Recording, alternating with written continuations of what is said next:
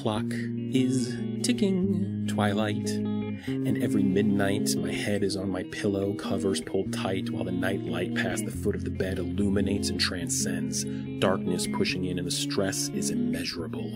Cracks are forming around my edges. Keep it together, Chompy. People are counting on you to bring in the lyrics or a hook or a paycheck, and I can't stand to look myself in the eye in the mirror. I can't recognize myself. Back then, it was so much clearer. Fact is that back then is over. This isn't all about Gen 5. That's just a straw that broke the back of a dog with too much in his bowl. I'm too old for this and too big to cry, but at least I can say that it gave me the experience to be good at goodbyes. At some point in the distant future, I'll peel off the band aid and rip the sutures, holding together the notion that all the devotion I had for a cartoon about horses made more sense and granted some believability to the flight of fancy that things are all going to be okay. Time goes by as I find the words to find you. I searched for a dream to cling to. Look behind, I had my friends to turn to. Now look ahead at the path set out before you. All good things are a beginning to an end. Platitudes and philosophy are all too cheap and easy. Big ideas, big words, big pictures, deep meaning. I feel sleazy as I weasel my way into an uninformed opinion about a world I never belonged in. Does anything ever really have a terminus?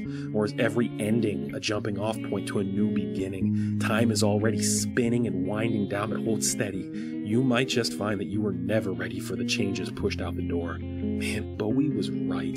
We are not only immune to your consultations, but also to entertainment. It's a side effect of being numb to the bone of being alone, fully grown up and on your own. But big surprise, you can't carve out a life with a knife made out of cynicism and skepticism. My generation stared down the barrel of four Great Depressions, three economic, and the last just a general descriptor of our lives. Yet, somewhere through all of that, we still find a good deal of comfort in the simple non realities, the fantasy of justice and fairness. The biggest mistake you can make is taking for granted just how willing we are to lie to make the world a better place. Time goes by as I find the words to find you. All my life I searched for a dream to cling to. Look had my friends to turn to. Now look ahead at the path set out before you. All good things are a beginning to an end. So, what is this all building to? Do I have some great revelation for you? Some world altering, mind bending, earth shattering cacophony of insight, wit, and wisdom? Some Aristotle's delight of profound down and out truth to life? Please. You know me better than that. I can't even shed light on myself. But I don't want to totally waste your time. Let's talk about Gen 5. That's right. I'll bring this all to a head in the end, totally perfunctory, while my slovenly slipshod attempt to give a nod to the topic may appear ham fisted. Bear in mind what I decried about looking ahead.